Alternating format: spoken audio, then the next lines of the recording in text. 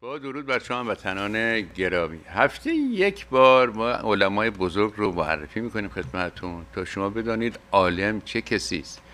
این آخوندها آخه در این فیضیه قوم کدوم علمی بوده؟ در این مدارس اسلامی و مدارس مسیحی کدوم علم رو شما سراغ دارین؟ جز لاتائل و مزخرف. تکیهشون فقط بر دو چیز بوده. وحی بوده است و کتاب آسمانی معجزه. سه چیز. اینا شد علم.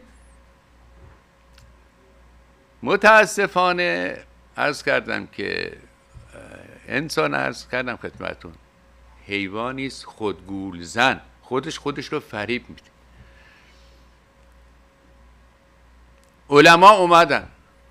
یه آخوندی در نشابور در روزگار مشروطی این دفعه سوم میگم به خاطر که یادتون نره این آخوندا کی هستن. طمع کرد به دو تا حاجی اسماعیلی. تکفیر داد و به خراسان نوه جلاد بیارین درست در مقطعی که مشروطه در واقع کرسی نشسته بود. اینها که جلاد می‌خوام سر اینا رو ببریم. کسی نه خودش لنگ بس این آقا کار دست گرفت سر این دو اسماعیلی بیچاره رو فقط به گناه این که اینا ثروتمند بودن برید انبار اینا رو جمع بعد جلسه تشکیل دادن. مرحوم سردار اثر بختیاری مرحوم ارز کنم که حسن تقیزاده استاد علامه تقیزاده از تبریز بود. می‌دونید می‌شناسید تو کتابش نوشته زندگی طوفانی. میگه میگه یه آخوندم بین ما بود. ولی ننوشته متاسفانه که این آخوند کی بود. گفت آقا اینو باید مجازات کرد. این تو قتل کرده گفت علما رو که نمیشه مجازات کرد. یعنی شما به محض اینکه رفتید تو فیضیه یه مش مزخرف یاد گرفتید. یه نیمت پارچه به کله بستید دیگه هر جنایتی می‌تونید بکنید. علما رو که نمیشه که تقیزاده گفت آقا این مزخرفاتی که تو من بهش گفتم مزخرفاتی که تو خوندی من دو برابرش خوندم. از کجا آمده که این آخون می‌تونه آدم بکشه و نمیشه مجازاتش کرده اینها؟ سردار اسد هم نگرانیشی بود که آبرو مملکت برده. بالاخره تنها کاری که توانستن در حق این جنایتکار که دو نفر به دست خود سربرید بکنه چند سال این آقا رو چه کردن؟ تعبید کردن در حالی بایستی بلا فاصله در همون نیشابور محاکمش دارش می‌کشید. همین خمینی رو وقتی گرفتنش چون امکان اعدامش بود این آقای شریعت مداری مرحوم که مرد ملایم و خوبی هم بود اینا آمدن یه چیز جعلی درست کردن که این آیت الله جعلی فرزندشون الان حاضر هی حاضر مهندس شریعت مداری ایشون هم می‌دونه گفته بارها. درست کردن که این آقا دیگه نکشن. چون آیت الله که نمیشه بکشه. حالا آیت الله دستش در جنایت بازه دیگه. حالا خاصه ای که آیت اللهی که در حال عادی هر جنایتی بکند نمیشه کارش کرد حالا ببینید قدرت مملکت هم دستش بدی چه می‌کنه؟ علما. به اینو علما. آقا علم تو چیه؟ مرد حسابی. آخه شما چه میگی؟ علما علما. کدوم علما؟ علم اینها از از روزگار پیدایش اسلام تا امروز رو هم جمع کنی صفر. مگه آخوندم عالم میشه که؟ یه چیزایی علم کلام و نمی‌دونم چی چی اثبات وجود خداوند تبارا و قصص انبیا و اینا دی مهمترین ناشه حدیث و این داستان ها باری برای اینکه فراموش نکنیم علما کی هستن هفته یک عالم به شما معرفی می‌کنیم. لطفا تصویر آقای انریکو فرمی رو نشون بدید. من در بابش یک مطلبی چند بگویم خدمت شما وطنان بزرگوار که آقا که بود؟ بله انریکو فرمی زاده ایتالیاس 1901 جمعا 54 سال بیشتر عمر نکرد. به جهت اینکه با مواد رادیواکتیو کار می‌کرد. در اون روزگارم ضرر و زیان رادیواکتیویته معلوم نبود. انریکو فرمی در کار در واقع quantum physics و توسعه علم اتم و ساختن بمب اتمی و تئوری بمب هیدروژنی و استاتیستیکال داینامیکس و چند رشته دیگه سرآمد روزگار بود. فیزیکدان ها بر دو گونن. فیزیکدان های نظری هستند مثل اینشتین مثل هایزنبرگ که هایزنبرگ به حدی نظری بود و عملی نبود که وسایل آزمایشگاه هم نمیشناخت. اما از بزرگترین فیزیکدان های روزگار است که شاید هفته آینده در صحبت کنیم. این آقای فرمی از اون معدود فیزیکدان ها بود که در هر دو رشته نظری و عملی سرآمد روزگار خودش بود و خانمی داشت که اون خانم بیچاره هم در 25 سالگی فوت شده. زن ایشان یهودی بود. وقتی نازی ها در واقع وارد ایتالیا شدن از بیم اینکه برای همسرش مشکلی پیش نیاد به آمریکا آمد. در آن روزگار چند دانشمند بی‌نظیر دیگر هم که عموما یهودی بودن گریخته بودن در آمریکا بودن. آمریکا در روزگار قدرت جهانی نبود در واقع و در حد انگلیس و فرانسه و اینام نبود. این به لحاظ علمی هم خیلی پیشرفته نبود. از کنم که میگشتی چند فیزیکدان بینشون پیدا می‌کرد که مشهورترین آقای رابرت اوپنهایمر بود. که اینا هم در واقع اوپنهایمر هم تحصیل کرده آلمان بود. خود آقای فرمی هم در گوتینگن درس خونده بود و در دانشگاه روم و در اونجا یک کشف مهم کرد که اصطلاحا می‌گویند transuranic elements یعنی می شود با بمباران neutron فلزات دیگری ساخت که بعد چند نوعش به دست آمد. مثل کالیفرنیوم. و عرض کنم که پلوتونیوم و اینها. باری. ایشون آمدن اینجا. فرمی از جمله کسانی بود که سعی کرد دولت آمریکا رو به خطر بمب اتمی آگاه بکند. به همراهی عرض کنم که ادوارد تلر و لیو زیلارد اینها که ولی گوش کسی به کار نبود تا اینکه به شهری خدمتتون گفتم آقای اینشتین رو پیدا کردن آمده بود اونجا مرخصی به نیویورک اینها اونجا بودن و خلاصه نامه نوشتن به روزولت و بقیه داستان ها فرمی رئیس یکی از شعب علم اتم بود در دانشگاه در در لابراتوار لوس آلاموس. برای ساختن. به او پدر و یکی از پدران بمب اتمی می‌گویند. شاید مهمترین دانشمندی که در این رشته کار کرد همین آقای نیکو فرمی بود. البته دانشمند بزرگی دیگه هم بودن. جمعا 11 برنده نوبل رو این داستان بمب اتم کار می‌کردن. در همین از شود که لوس آلاموس که یا برده بودن مثل فرمی که, نو... که نوبل برده بود جایزه نوبل در فیزیک یا بعدا برنده شدن. باری تئوری بمب هیدروژنی رو هم پیش پیش پیش چیزش درآمدهاش رو ایشون به دست آورده بود و داده بود دست آقای ادوارد تلر. تلر هم از شاگردان هایزنبرگ بود. دو سال پیش فوت شد. این مرد پیری بود بمساز بود. خلاصه این بمساز آمریکا بود و اینها. بعد از ماجرای هیروشیما فرمی مخالفت کرد با ساختن بمب اتمی. و بعد به طور کل فاصله گرفت و رفت و معلم دانشگاه شد مدرس دانشگاه شد. اولین کوره اتمی رو او ساخت. لطفا این شیکاگو پایل رو هم نشون بدید. با خشت های که مخلوطی از اورانیوم هست و چیزهای دیگر. بله ببینید. و لایه لایه با دست خودش فرمی درست کرد. عرض می‌کنم که پیش بینی کرد که در لایه نمی‌دونم شاید 56 هفتم کوره بحرانی میشه. بحرانی شدن یعنی اینکه chain reaction یا فعل حالت زنجیری در اونجا آغاز میشه و همین اتفاق هم افتاد. اون نخهایی که اون بالا می‌بینید برای این است که اگر که کوره بحرانی شد و از حد گذشت بتوانند با ریختن آب یا عرض کنم که کادمیوم که این نیوترون ها رو به خود جلب می‌کنه از انفجار کوره جلوگیری کنه. این با دست ساخته شده در یک از زیرزمین های دانشگاه شیکاگو ساخته شد و یکی از این بزرگترین اتفاقات علمی تاریخ است.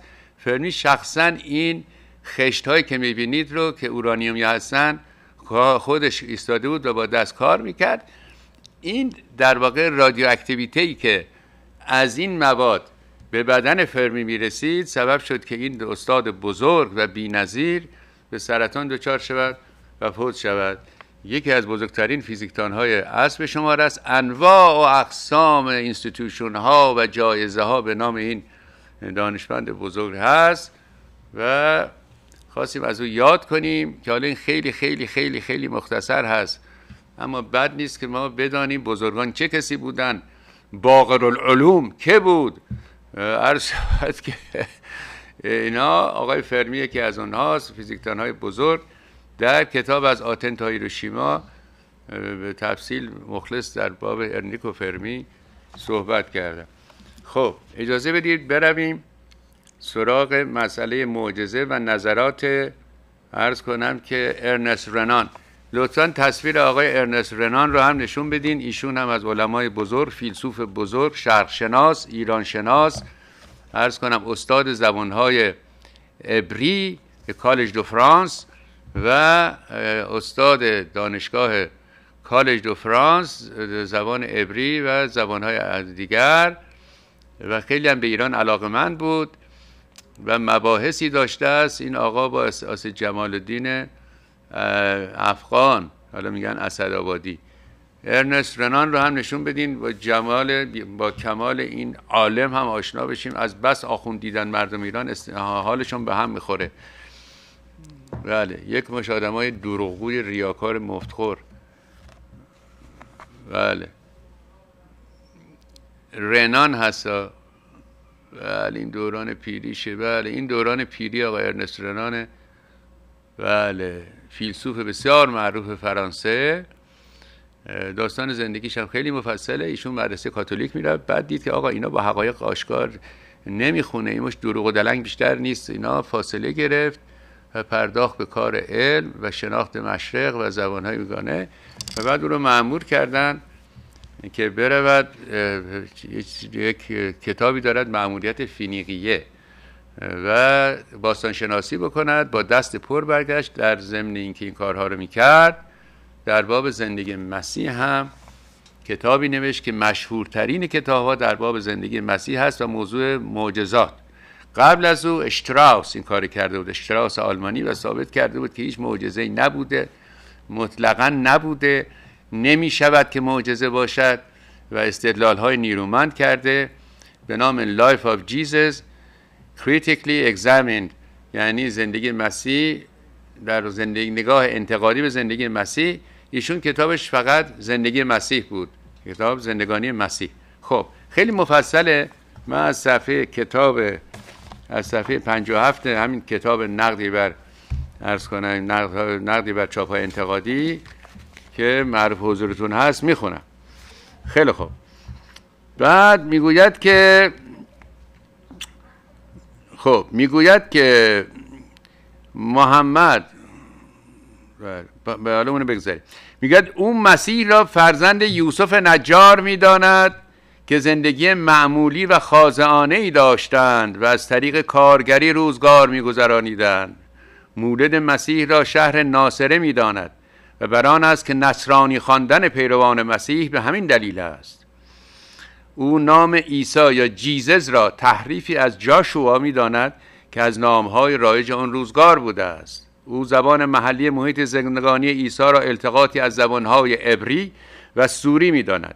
رنان همچنین بر این است که موسی و محمد مردمان فکر نبودند بلکه مردمان عمل بودند و در تحریز پیروان به عمل بوده است که این شخصیت ها سرنوشت انسان را به دست خیش گرفتند. او می‌گوید عیسی نه دینشناس بود و نه فیلسوف. پیرو عیسی شدن نه نیازمند امضای قراردادی بود و نه اعتراف به گناهان. تنها شرط لازم و کافی نزدیک شدن به او و دوست داشتنش بوده است.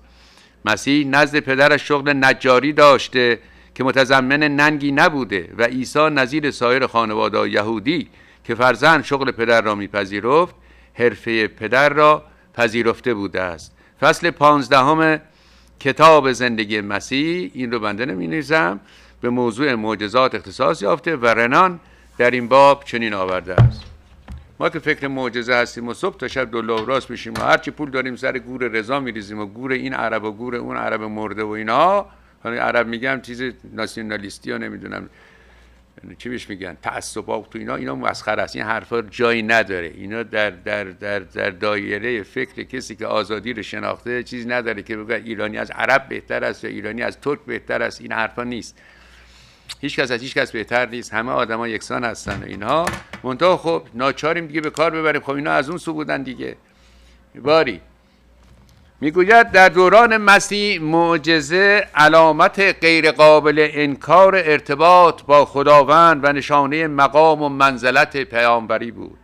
افسانه های الیاس و الیاس مملو از معجزات و کرامات و در میان یهودیان رایج بود. اونها بر این باور بودند که منجی منتظر معجزات بسیاری از خود ظاهر خواهد ساخت. بنابراین این داستان همین امام قایب ته چا و این حرفا اینا از یهودیان فقیری بودند در اون روزگاران که منتظر بودند و در آین زرتشت هم البته ما چنین چیزی داریم.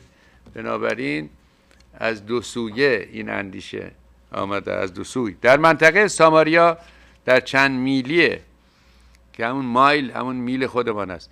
محل زندگی مسیح شعبه دیگری به نام سیمون بر اثر ترفندهای خود تقریبا به شخصیتی مقدس تبدیل گشته بود. یه شالاتان هم بوده یه کارایی می‌کرد. مثل این شعبه بازه امروزی اونا بهش تعظیم و تکریم می‌کردن. بعدها وقتی از او انتظار می‌رفت تا شهرت و اعتباری نظیر آپلونیوس کشف نماید و ثابت کند که وجود او حضور موقت خدا بر روی زمین است. او چاره جز این نداشت که به ترفند و چشمبندی چشمبندی بپردازد. همون پولونیوس میگه. فیلسوفان اسکندریه نظیر پلوتونیوس و دیگران بنابر اون شهرت داشت معجزاتی از خود ظاهر ساخته بودند. عیسی بنابراین ما بین انکار رسالت خویش یا ظاهر ساختن معجزه میبایستی یکی را برگزیند. در روزگار قدیم جز در حوزه مکاتب علمی یونان و پیروان رومی آنها معجزه امری پذیرفته بود. عیسی مسیح نه تنها به معجزات باورمند بود و کوچکترین علم و اطلاعی در باب قوانین لایتغیر طبیعت نداشت نداشت. دانش او در این زمینه در حد معاصران بود و نه بیشتر. یکی از اعتقادات ریشهدار آن روزگار این بود که به نیروی ایمان و نیایش می‌توان بر نیروهای طبیعت تسلط یافت. قدرت و استعداد ظاهر ساختن معجزه در نظر قدما نوعی لطف الهی بود که شامل بعض افراد میگردید و پدید عجیبی به نظر نمی رسید گذشت زبان. عواملی را که سبب عظمت بنیانگذار مسیحیت یعنی معجزات بوده را به توهینی به عقاید امروز ما مبدل ساخته است. یعنی امروز وقتی ببینیم که معجزه می‌کرد یه توهینی به مسیح و مسیحیت مرده زنده می‌کرد. آقا چه مرده زنده می‌کرد؟ مگه مرده زنده میشه؟ چنان چه زمانی فرا رسد. این خیلی عبارت مهمی است. که اعتقاد به مسیح در جامعه انسانی منسوخ گردد دلیلش همون پدیده های خواهد بود که در وادی امر آدم ها را به او معتقد ساخت. یعنی اگر یه روزی مسیحیت بر بیفته علتش همین دروغاست که به منتصب کردن. در حالی که همین دروغا سبب شده بود که مردم دور جمع بشن. و ارنست رنان در واقع این امور رو یک خشونتی در حق عیسی می‌داند. وقتی می‌گفتن معجزه می‌کنه.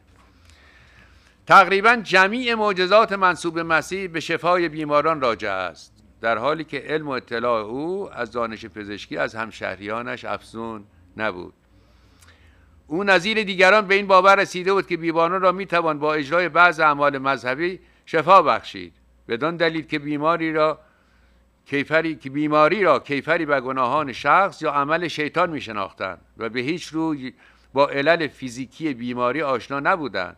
بهترین پزشکان مرد مقدسی بود که در جهان مابد و طبیعه صاحب قدرت بوده باشد. فوزون بر این شفا دادن بیماران عمل اخلاقی محسوب می‌شد و عیسی که خود را واجد فضایل اخلاقی می‌دانست به توان خیش در شفا دادن بیماران باورمند بود. او بر این بود که لمس عبا یا گرفتن دست او توسط بیماران به حال آنها مفید است. و نیز گمان می‌کرد که امتناع از کاربرد قدرت شفا بخشی که در توان داشت عملی غیر اخلاقی است. شفا دادن بیماران یکی از علائم پادشاهی خداوند و مرتبط با بیرون راندن جن از بدن بیماران یا اکسرسیزم بود. این باور جهانی که دیو یا دیمون یا جن وارد پیکر افراد می شود و آنها را به اعمال خلاف میل آنها وارد می‌کنن وارد می‌کند. ببخشید. دیوی که نام او در اوستا بسیار رفته به نام آچما دیوا یا دیو شهوت که نزد یهودیان آسمودوس نامیده میشه از سرچشمه رنج و درد و بدبختی زنان به شمار میره بیماری قش که نوعی بیماری روانی و عصبی است. در, در اشخاص چنان عمل می‌کند که گویی بیمار به خود متعلق نیست و ضعف و لاغری غیرعادی و کری و لالی را نیز به همون دلیل به عمل شیطان مربوط می حالا به هر صورت اینجا این توضیحات رو داده و بعد می‌گوید آقا وظیفه ما نیست. می‌گوید که رنان می‌گوید رنان اصرار میورزد که نفی معجزات از سوی من ابطال قوانین و قواعد علم نیست بلکه نتیجه گزیر ناپذیر بیتعصبانه طبیعت و تاریخ است. تا کنون هیچ دلیلی در ابواب ابطال قوانین طبیعت یا تعلیق آنها به دست ما نیامده. یعنی در تاریخ دیده نشده که قورباغه ابو عطا بخونه آب سر بالا بره. یا فرض کنین این دیوان رو رها کنین بره به هوا نفته بزن. این یک نوع حقه بازی بوده. این داستان پیغمبری یک حقه بازی بزرگ بوده. همشون به قول رازی کتاب داشت رازی متاسفانه سوزاندن به نام مخارق الانبیا. یا این انبیا همشون حقه باز و کلاهبردار بودن. و عرض کنم که کنترل جامعه رو به دست گرفتن با همین داستان های دروغین الله و نمی‌دونم از اینجور داستان های ما بعد طبیعه. می‌گوید هیچ دلیلی ما برای تعلیق یا ابطال قوانین طبیعت در دست نداریم. خب دلیل ما از عدم قبول معجزات این است که هیچ یک توسط شاهدان عینی گزارش نشده. خب این که عیسی به آسمان رفت هیچ که ندید. این که پیغمبر سوار یعفور شده رفت به آسمون هیچ کس ندید. شق القمر رو هیچ کس ندید. هر معجزه به پیغمبر اسلام در واقع مربوط است هیچ کس ندیده. جبرئیل رو هیچ کس ندید. اینا فقط ادعاست. شما باید بدانی هموطن بزرگوار که معجزه وجود ندارد نمیشه. استثناها هست اما معجزه وجود نداره و هرگز نبوده چون هیچ شاهد عینی تا حالا ندیده که فرض کنید که نمی‌دونم یه کسی روی آب را بره. حالا اشتباه نکنیم در باب کرامات این اولیا. شمس تبریزی و اینها یا سخنانی که عطار گفته است و تذکرت الاولیا اینها یک عواطف شاعرانه است بسیار هم زیباست. نه اینکه واقعا کسی روی آب را رفته نه اینکه یک کسی یک سال ایستاده رو پشتبان به خانه کعبه نگاه کرده. اینها ابراز عواطف ابراز عواطف عاشقانه است و اینها زبان و بیان هم شاعرانه است. ما اینها را نظر استدلال عقلی نباید چوب بزنیم. اینا گوی چیزا رو گفتن. ضرری هم به کسی نمی‌خواستن. اما کسی که آمد گفت من سوار خرج شدم رفتم به آسمان و شما بایستی بیاین برای من کار کنین و عقیده من چیز کنین و من میگم حمله کنید یا علی حمله رو شروع کنید. اینها غیر قابل قبوله. یک اون زمان هم قبول نمی‌کردن. بابا اون زمان هم یک آدمای دانا بودن. این همین ابو سفیان دیگه روزی که محاصره کردن مثل مغول ها کعبه رو محاصره کردن ابو سفیان آمد بیرون این داستان چی آقا؟ اومد عباس عموی پیغمبر این ابو سفیان برد اینجا. گفت حالا فهمیدی که من که الله یکیه؟ گفت آره تقریبا به این معتقد شدم. گفت حالا فهمیدی من رسول الله گفت قرمت برم. فدای تو بشم. در این باب من شک دارم هنوز. حالا شمشیرم بالا سرشا اجازه بدید تا فردا فکر کنم ببینم هست یا نه. عباس شمشیر کشی گفت یا میگی اشهد محمد رسول گردنت میزن گفت والا نه بابا میگم بابا. نزن آقا چرا می‌زنی؟ چیزی نیست که بفرمان اشهد ان محمد رسول الله. ابو سفیان. چون می‌دانستن که خبری نیست. همین ابو سفیان وقتی عثمان شده عثمان خلیفه اومد دید اتاق پر بنی امیه است.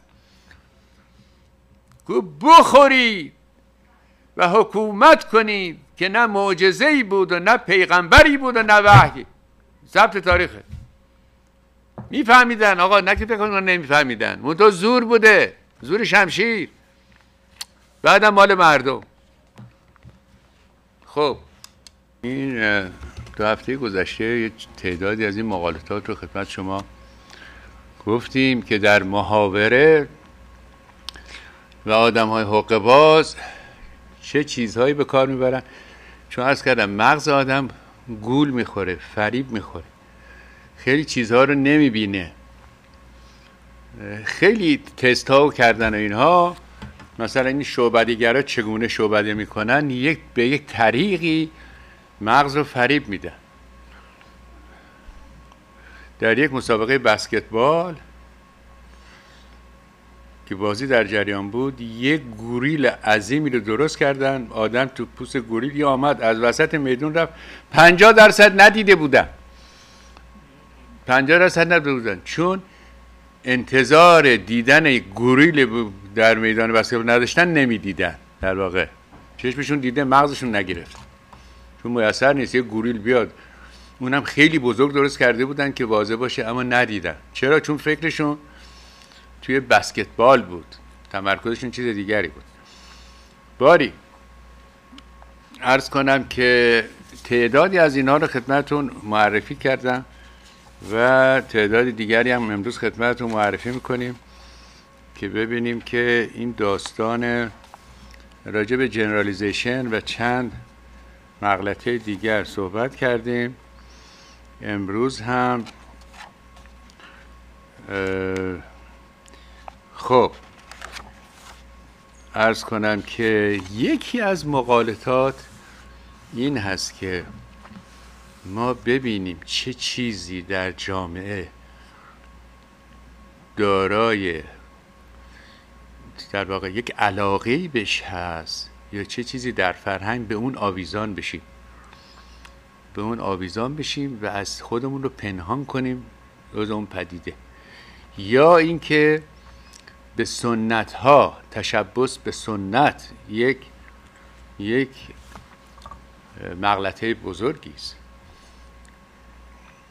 مثلا فرض کنید که در کشور ما داستان امامت یک امر بزرگی است. دیگه تمام دین ایرانی آویخته است به این امامت علی و بچه هاش این یه چیزی است که مردم نسبت بهش عموما یک حساسیتی دارند و یک عشق و علاقه و پشنی دارند به قول زبان انگلیسی ها. ما بهش آویزان بشویم. مثلا یک نقل قولی بکند آقا از مثلا نهج البلاغه که به لحاظ عقلی اشتباه غلط باشه. به محض اینکه شما بگید آقا این که اشتباه میگید آقا یعنی شما میگید که حضرت علی اشتباه می‌کنه.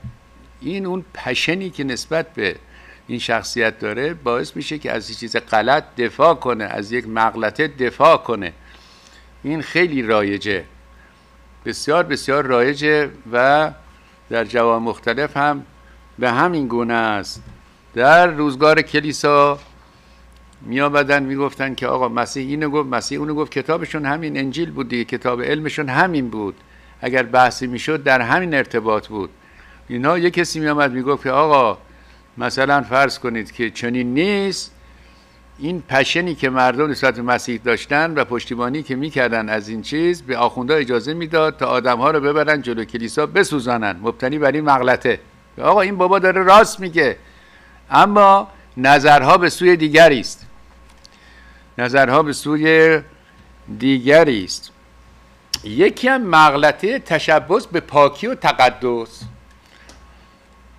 مغلطه که ما ایرانیان مثلا پاک متن آریایی خیلی پاک و پاکیزه هستیم. ما مثل مثلا ترک ها نیستیم. یک نوع تشبس به پاکی هست و تقدس هست و برتری هست. مثل احمد نژاد صفی آمده در دانشگاه کلمبیا. میگه ما در ایران هموسکشوال نداریم. یعنی ما ایرانیان به درجه از تقدس رسیدیم و پاک هستیم. که بین ما هموسکشوال هموسکشوال وجود نداره. همه هم خندیدن. آقا این داستان یه امر طبیعی است در هر جامعه ای به دلیل فیزیکی به دلیل پزشکی. ارز کنم یک عده به لحاظ جنسی گرایش های این چنین دارن. این دنیا میره پذیرفته. در آمریکا هم قانون شده است که اینها می‌توانند با هم ازدواج بکنن و اینها. ما در ایران هموسکشوال نداریم به چه معنی است؟ جز مغلطه نیست. این تشبس به پاکی است. تشبس به پاکی است.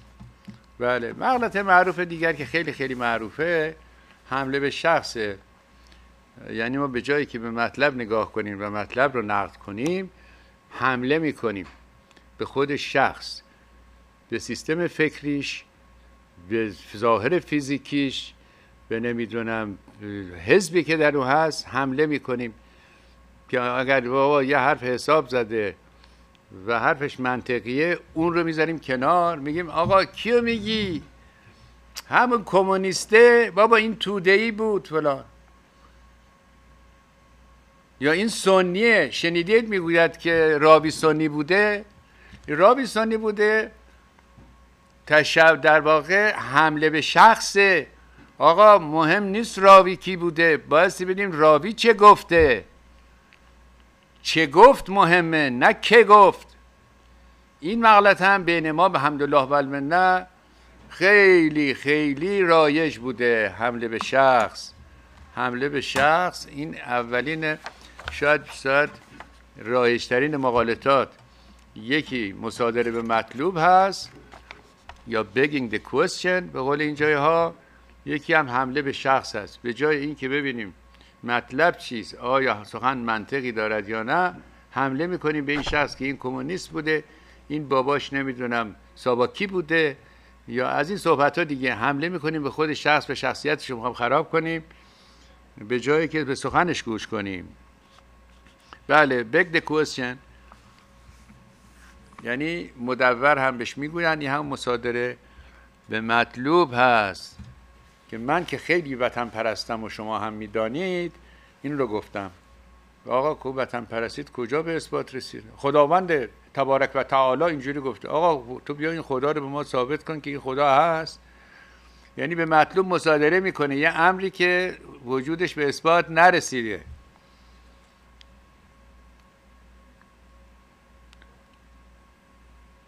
یا فلان جنایتکار مثلا من شنیدم زیاد. اون لاجوردی جنایتکار اشتباه نگم تو زندان های از این آدم کسیفتر در تاریخ جهان شاید کم بوده. این آقای مولا نصرالدین ایران این آقای خاتمی گفت این چی چیز انقلاب بوده این سردار اسلام بوده فلانی حرفا از اینجور داستان ها مغلطه می‌کرد. این آقای روحانی از کردم مثل تازه دامادهای اهل مسقط من موقع فکر کنم از همون در اومد می‌خواد بره هجله. اسمش گذاشتم تازه داماد مسقط اون یکی هم مولا نصرالدین ایرانه. هه میخنده میگه رای ندید خودش صبح زودتر از همین رای میده. ببین چه سیاست مدارایی داریم. مسعود خان دیگه ما غمی نداریم که با این وجود این رجال بزرگ مثل آقای سید محمد خاتمی با این درجه از قوت فکر و اطمینان و اعتقاد و پرنسیب کسی نیست آقا میشیشم با این بازه. این بریش خودش میخنده. یه عجب احمقی هم من. لیدر سیاسی که این رفتارش نیست که. مردم ما از فقر فقر و نبود رجال سیاسی افتادن دنبال اینا.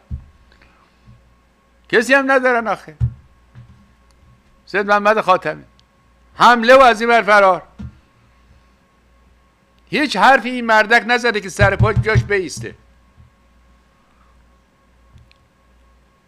آمد گفت دموکراسی و آزادی دو تا تو سری خورد. اومد گفت من که نگفتم آقا دموکراسی اسلامی گفتم من. اون روزم که گفت رأی ندین کله سهر دویده رفته اون یکی تو یه جای دیگه داره رأی میده. خب اینا با مقالطه و عرض کنم که جواب که ندارم بدهن آویزا میشن به مقالطه. خب. بله. عرض می‌کنم خدمت شما که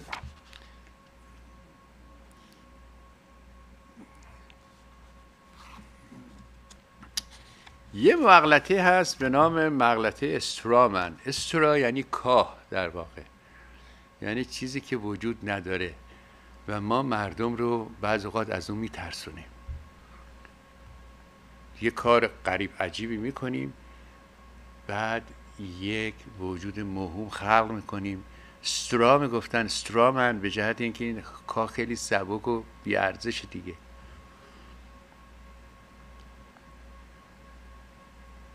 قرار ایران ایرانستان بکنن. اعدام کنید. تیربارون و اینا چه خبره؟ اینا ایران می‌خواستن ایرانستان کنن. در روزگار آقای مکارتی ما داشتیم در آمریکا داشتن آمریکا یا چون زمان ما آمریکا نبودیم. این آمده بود و یه استرامن خلق کرده بود. و اون این که اینها کمونیست هستن و اینها غیر آمریکایی هستن می‌کشید به سنا محاکمه می‌کرد.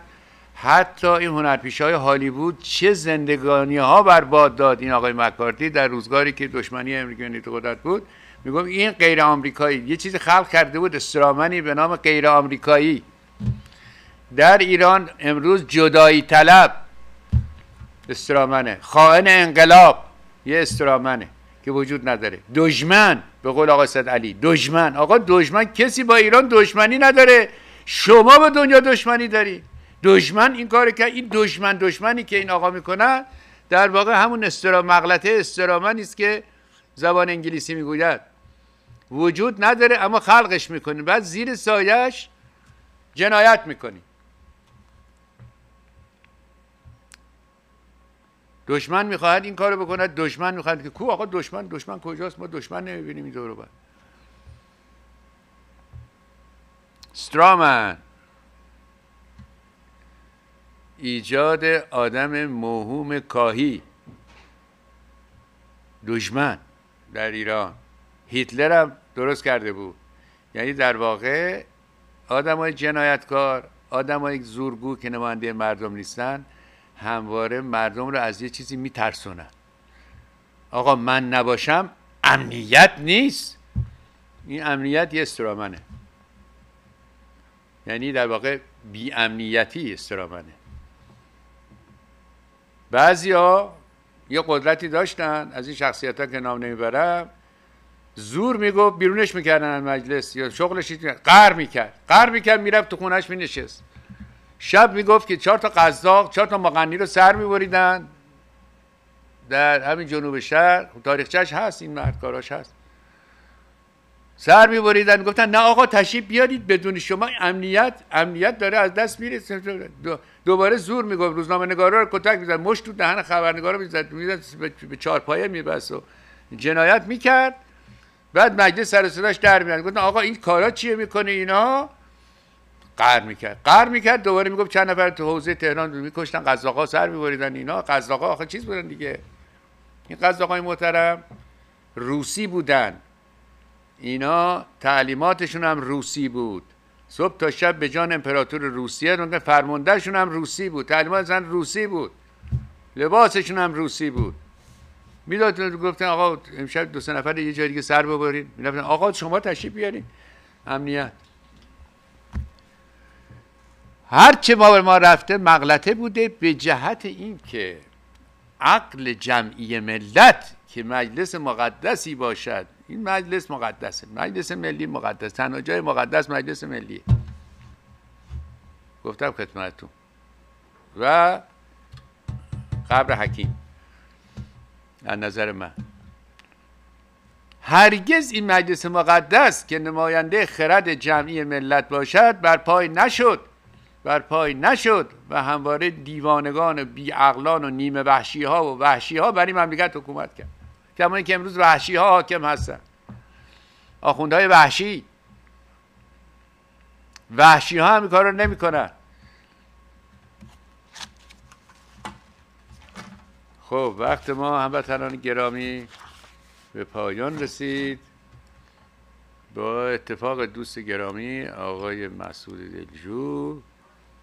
که از اتریش آمدند و در باب اتریش صحبت می‌کردیم در این بریک و سپر در اتاق فرمان از شما خداوزی می‌کنیم تا برنامه دیگر درود بر شما. جاوید ایران زمین زنده باد آزادی.